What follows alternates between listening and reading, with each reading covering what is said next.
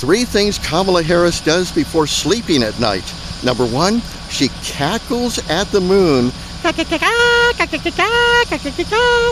Number two, she goes to the kitchen to prepare the next day's word salad. And finally, number three, she considers which branch of McDonald's she wants to work at after November. Ba-da-ba-ba-ba.